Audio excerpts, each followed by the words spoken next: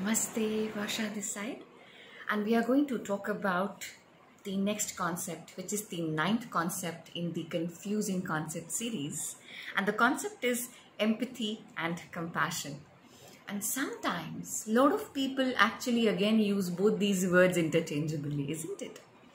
Okay, so very quickly, empathy refers more generally to our ability to take the perspective of and feel the emotions of another person. Now, this is a very common example. You know, a lot of people, when they are going through a lot emotionally, energetically, physically, psychologically, they tend to say this I wish you were in my shoes. Then you would have actually understood what I'm going through. Isn't it? So, we have come across this phrase. Now, that is a perfect example of empathy keeping yourself in others' shoes. You know?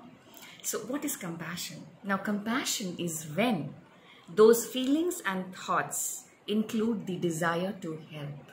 So, in empathy, we saw that when we are able to keep ourselves in others' shoes, in others' place, what they are going through, you know, imagining those feelings and emotions, that is empathy. And when we add the third component, the desire to help those people, to pull them out of their situation, that is what compassion is.